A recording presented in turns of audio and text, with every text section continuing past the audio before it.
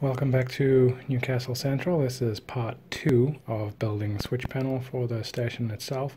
Uh, if you haven't seen part one and would like to see how I went about actually building up the first part of uh, this panel here, uh, getting all the holes done, getting toggle switches and LEDs in place, uh, then click the little card on the corner of the video now.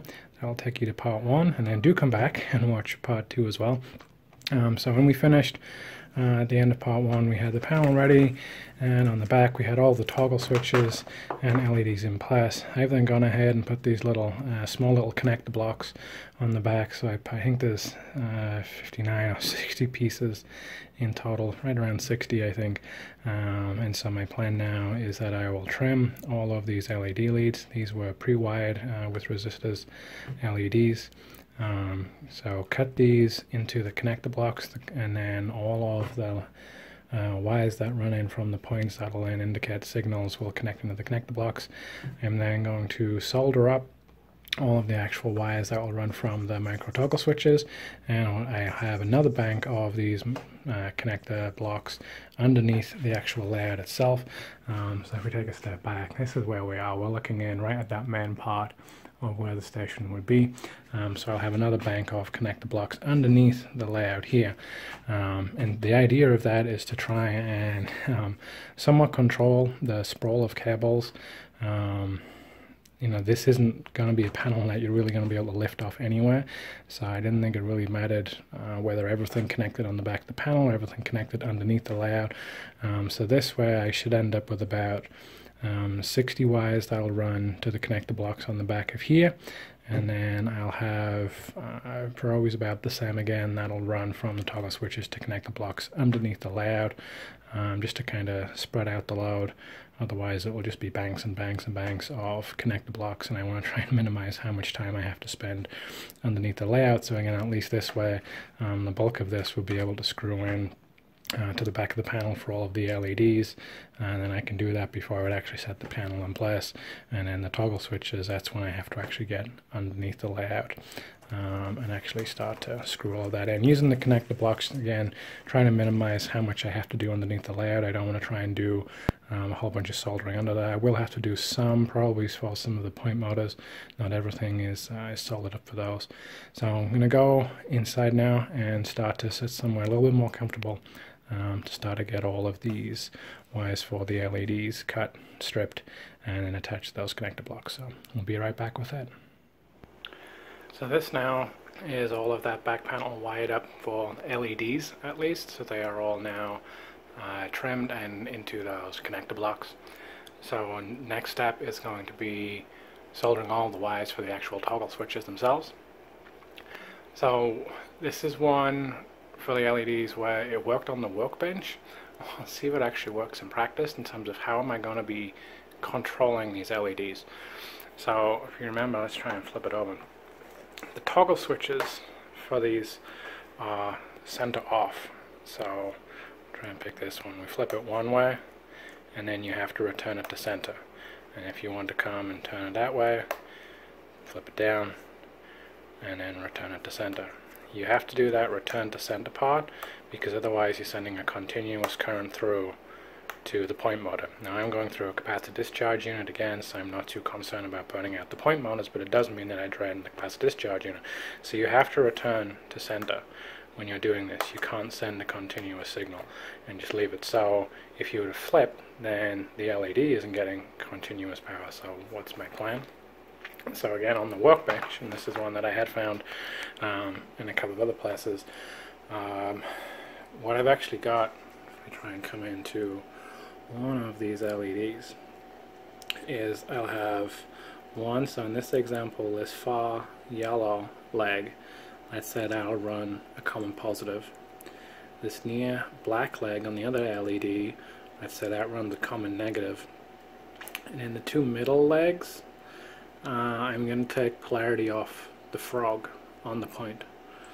So the idea is that I'll always have positive here, I'll always have negative on one leg, so at least one of the LEDs always has one of the polarities that it needs and then as the frog would switch polarity that then makes the circuit for either this top one if the frog goes one way and so this black this middle black one um, would then get frog polarity negative. Okay that completes circuit that LED lights up when you flip the point the other way then this middle yellow ends up carrying uh, positive from the frog which goes with the common negative and this LED lights up.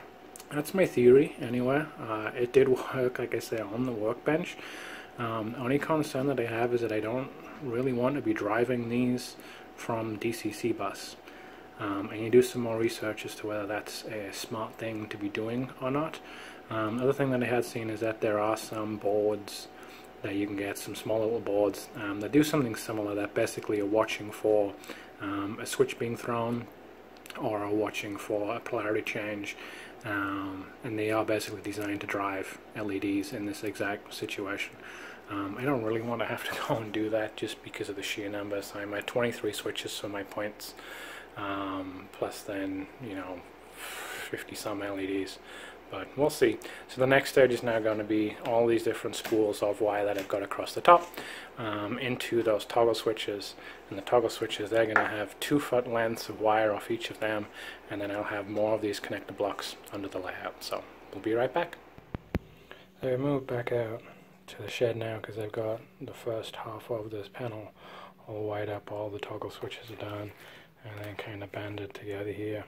Uh, each of the ends of these bundles is labeled with which toggle switch it is, you know, 23, 20, uh, one's kind of hanging out, uh, 21. It's kind of loosely grouped them together. There is then a single red that runs through. Uh, that'll run underneath. That's going to be uh, common power that comes from the capacitor discharge unit, and then it's kind of daisy chained all through the other ones. Um, that's just so that it'll send that punch when you flip the toggle switch. So I realized that I did an awful lot of wiring here, and as much as I had done this, uh, like I say, on the workbench and with a couple of the switches as they're in place in the layout, I wanted to now make sure that what I was doing here was actually going to work before I moved on and did the other half. So this was the first 10 switches. Um, this is actually going to be controlling the north side of the station. So I'm not going to get them all wired up. I'm just going to uh, wire and probably uh, one or two of these just to make sure that the theory that I've got going here is actually correct and that um, I'm not needing to make any changes because once I, you know, it, it's kind of fiddly to get all this solid in by the time you get all the common power that's running through it and then the ones that are coming off for the actual toggle switches and you got the LEDs, it's starting to get very, very busy here. So I want to make sure that if I have problems, I can correct this before I then mount the panel in place on the layout because uh, at that point there's just no way I'm really going to be able to do any kind of soldering under here and I don't want to have to then unscrew the dozens and dozens of cables that we're running into connector blocks. So I'm going to start to wire up a couple of the switches uh, to the point motors and the capacitor discharge unit and make sure that's running okay um, before I move on to do the rest. So I'll be right back. One other thing that I just wanted to show quick here as I've been moving around and wiring up some of these other point motors is what you would experience on junction like this. So really what I want is both of the motors to fire at the same time, like that. So if you look carefully, both of these motors actually fire at the same time. So they'll switch um, two point motors at once, and this is where kind of that uh, CDU really starts to have an advantage in that it can quite happily fire two. It can actually fire up to six technically. So that was on one switch. That's actually the switch, uh, the actually the toggle switch on the top left monitor, number 22, and then toggle switch number 23 is then actually the bottom one. And so you get the exact same behavior there. So you may be wondering, okay, why do I have two different toggle switches that are technically doing uh, the same thing here? So if we come over and look at what I have going on. So this is what we're talking about here. It's these two toggle switches here. And technically they are controlling uh, the same thing here. You can hear it in the background firing as I'm flipping a toggle switch. And so why am I having that? Well, really it's, am I looking at a northbound train or am I going to be focusing on a southbound train? So I'm looking at a northbound train ignore the north. North means north side of the station. It's not giving a direction of the actual tracks. the top one is going to be north, this middle one is going to be southbound. This is actually a, a FRED bypass line. Probably FRED, but it could be a bypass line too. So top is north, this middle one is south. So if I have a train that's moving out on the northbound line and I want to switch it over onto this line for whatever reason, let's say I want to then uh, ultimately bring it over into the tiny yard. Then what I can do is all I have to do is focus on that and so sorry going that way. I don't have LEDs on, but it was already going that direction. And if I then want to say, okay, now I need it to just go straight through, I don't want to throw that switch. Okay, I can now point it that way. I don't really want to have to deal with this toggle switch because um, logically that doesn't make sense to me. If I'm working on the northbound line, I want to be able to throw the toggle switch here. And then the opposite occurs on the southbound line. I just want to be using this toggle switch to control. Am I going to flip over onto what's technically northbound or am I going to come straight through on south? And so why might I want to have a train on the southbound line come on the northbound? Well, actually, it's just, it's not really north and south. They just happen to be the lines out. But if, for example, let's say this uh, this swallow black and white was on our is, it is on our southbound line. But let's say it was a DMU that I want to end up coming into platform 0 or 1 up here. So the only way that I can do that and this is actually somewhat prototypical I wouldn't actually come all this far out is I would actually switch over onto that line come around the outside and then I could be able to come into those platforms. Um, or if I had, you know, a train, because we do have these long platforms two and three, uh, so platform two and platform three, because we have those long platforms, I might then want to have uh, a train that switches either way. So I'm going to keep wiring some up. Be back soon. Bye. So I've now got all the points hooked up. I think I, on that last video I talked about this dual, dual point action. So where we could have you know two different points that move at the same time. Um, I showed the one that was just over at the north end of the station uh, over here last time. I do have another one now right here as well. Uh, we can fire off as well. Let me fire it in the right direction. And uh, I didn't really actually talk about how to do that. This one's kind of interesting. Um, and it, it's, it's just basic electronics. This is a point, uh, SEEPS PM1 point motor. That's what the bulk of the stuff um, that I'm using on the layout is. And then I've also then got this um, surface mounted one. It's a Peco PL11. Uh, there were a few places where I had to put surface mounted ones just because of the positions of the supports on the baseboards. Um, so I have another two over here. They're actually not too bad um, when you get down all the way at track level.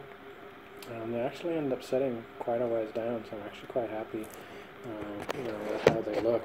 You don't actually protrude all that much. Anyway, let's move over um, to the actual panel itself, and again, just to help refresh people's memory, this is what we're talking about, where all I'm doing is flipping one toggle switch, like that, and it's actually firing both of those points.